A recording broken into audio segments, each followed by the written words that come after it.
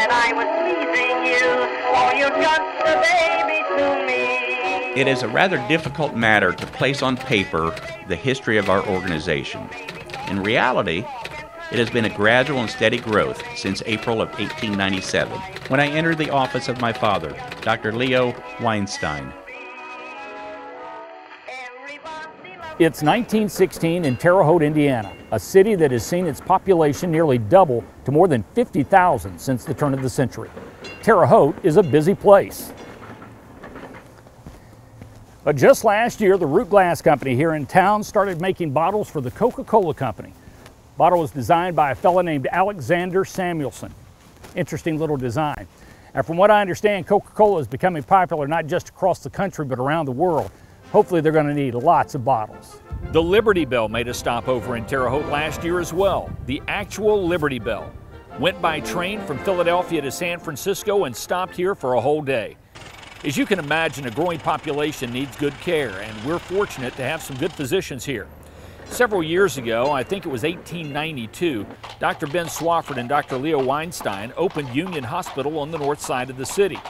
Well, almost 20 years later, Dr. Weinstein's son, Joseph H. Weinstein, had also become a physician, but he wanted to change things up a bit. He thought there might be a better way for specialists to work together, collectively, and make it a little bit easier for patients. Well, the young Dr. Weinstein had heard about a couple of doctors that were already employing a concept that was very similar to his.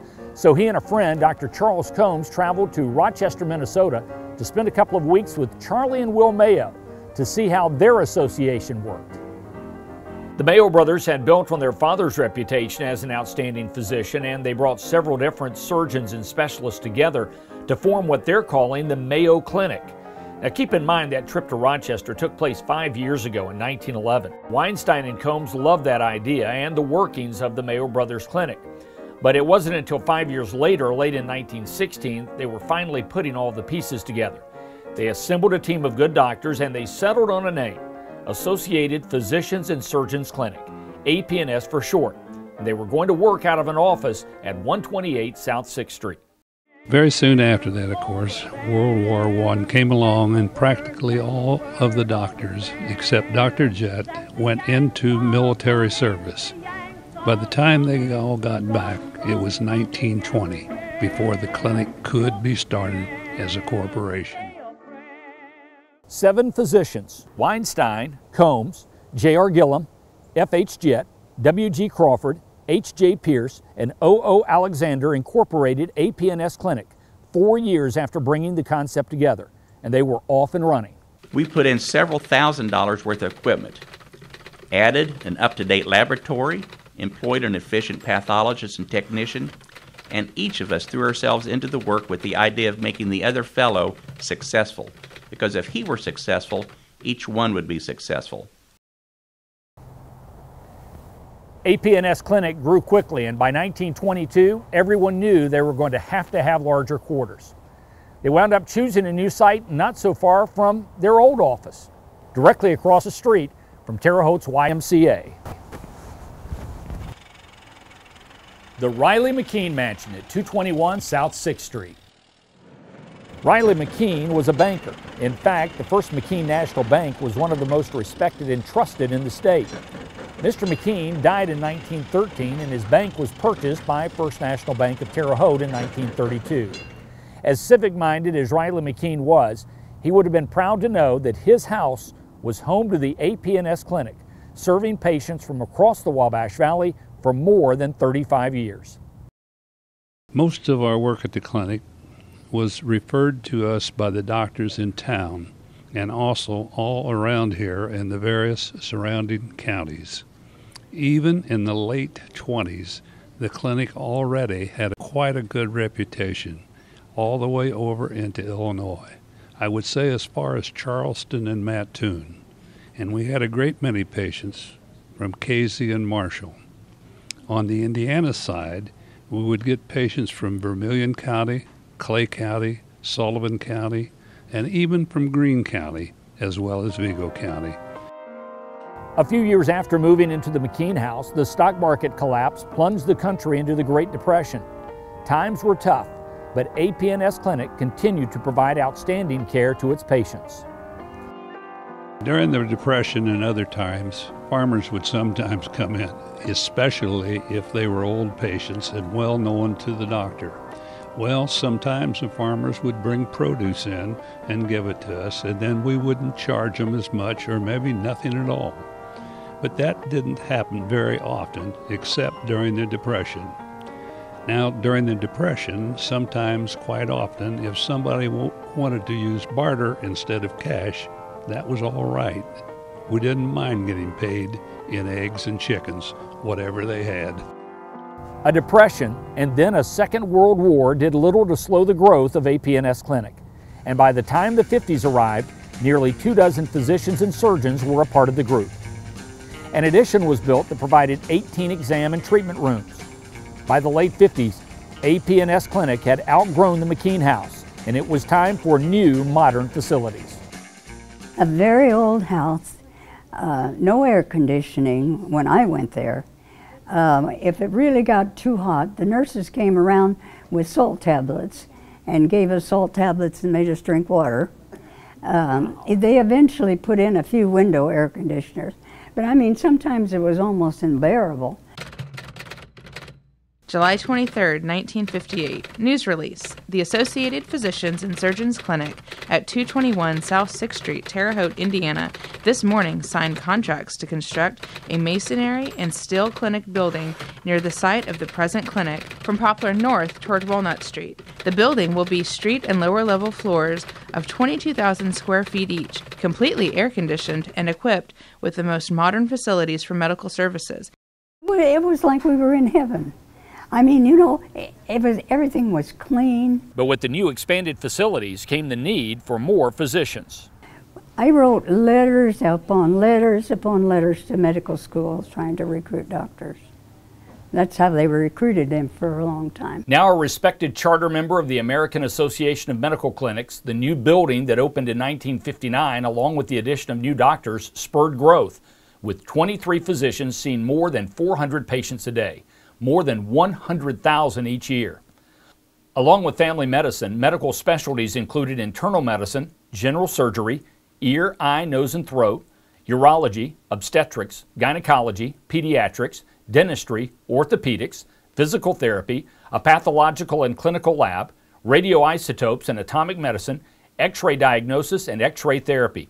But remember, we're talking the late 50s and early 60s, and there were no computers like I say, we did a lot of this by hand. We had an old uh, bookkeeping machine that's set up right. I don't suppose you'd ever find one of them again, but we had to put the my, uh, the uh, inventory in in that, uh, all the visits and so forth, and then we had to type all the statements.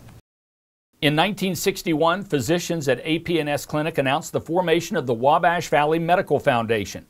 Dr. William W. Kreibel said the foundation was, quote, established in response to the need for an organization capable of carrying on various activities to improve medical care and medical care facilities in the Terre Haute area.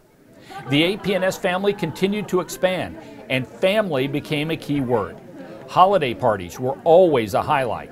Summer gatherings, many hosted by Dr. Louis Neudorf at his family's lake, made for special memories.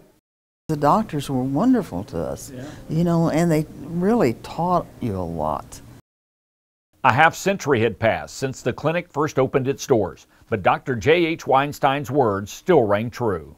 The qualifications that I personally originally started on were principally ethical, professional ability, and personality with congeniality. I think the latter is absolutely essential to group medicine. You must have your group congenial. AP&S Clinic continued to grow in its service to the Wabash Valley, and by the early 70s, another building project was announced. The Associated Physicians and Surgeons Clinic, 221 South 6th Street, Terre Haute, Indiana, has announced a remodeling project with a completion date of fall 1973. The improvements will be aimed at patient comfort and ease.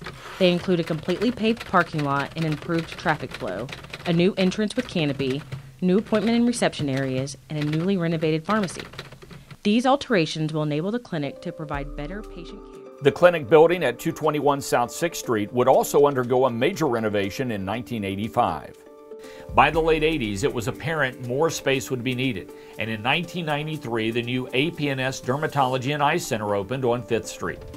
Soon there would be AP&S clinic affiliated offices on Terre Haute's north side and south side, offering enhanced services in family medicine and urology. The Bone and Joint Center opened in fall of 2002, offering orthopedic, joint replacement, rheumatology, and sports medicine specialties. In 2006, and in association with Union Hospital, the 28,000 square foot Wabash Valley Surgery Center was completed. Featuring eight state of the art operating rooms and four procedure rooms, it is the premier outpatient surgery center in the area, with nearly 11,000 surgical procedures performed at the center annually. And in 2008, AP&S oncology and hematology specialists moved into their new facilities at the Hux Cancer Center. Of course, you had to change with all the changes, you know, and that was hard sometimes. Change has been a key word over the last quarter century. In 1995, AP&S Clinic entered into an association with Union Hospital to create an integrated healthcare network. That association with Union Hospital ended in 2004, but in November of 2009, the Wabash Valley's leading medical group once again joined forces with the Wabash Valley's leading medical center, and AP&S Clinic became Union Associated Physicians. Then, in March of 2013, the new four story UAP Clinic medical office building opened on the Union Hospital campus. A gleaming four story, 125,000 square foot facility that became the new home for allergy, asthma, and immunology, audiology, cardiology, cardiovascular testing, and nuclear medicine, a cosmetic laser center, endocrinology, ear, nose, throat, and allergy, gastroenterology, gynecology, internal medicine, a laboratory, obstetrics, a pharmacy, pulmonology and critical care, radiology, surgery, and urology. And in the lobby of the medical office building, you'll find a physical connection to the old McKeen House, a reminder of the past as we look forward to the future. Now, in 2016, UAP Clinic transitions to its new name, Union Medical Group. UAP Clinic and Union Hospital Medical Group have come together and will now be known as Union Medical Group. A new name, but the same outstanding health care that you've come to depend on for you and your family. The century of commitment shown to Terre Haute and the Wabash Valley by the medical professionals and support staff who have been a part of this association is apparent. It started as an idea in 1897, led to a discussion with the famed Mayo brothers in 1911 became a reality in 1916, and 10 decades later has grown into one of the Midwest's most respected group of medical professionals.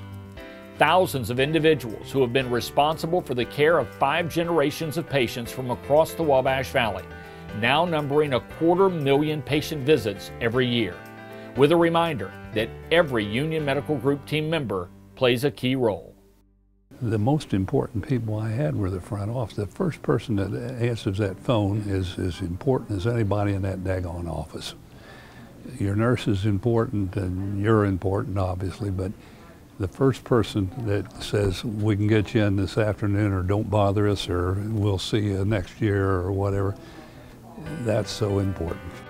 What started with a group of seven dedicated local physicians in 1916 has grown to more than 100 doctors and nurse practitioners, along with hundreds of nurses, technicians, and vital support personnel who care for patients as part of the Union Medical Group.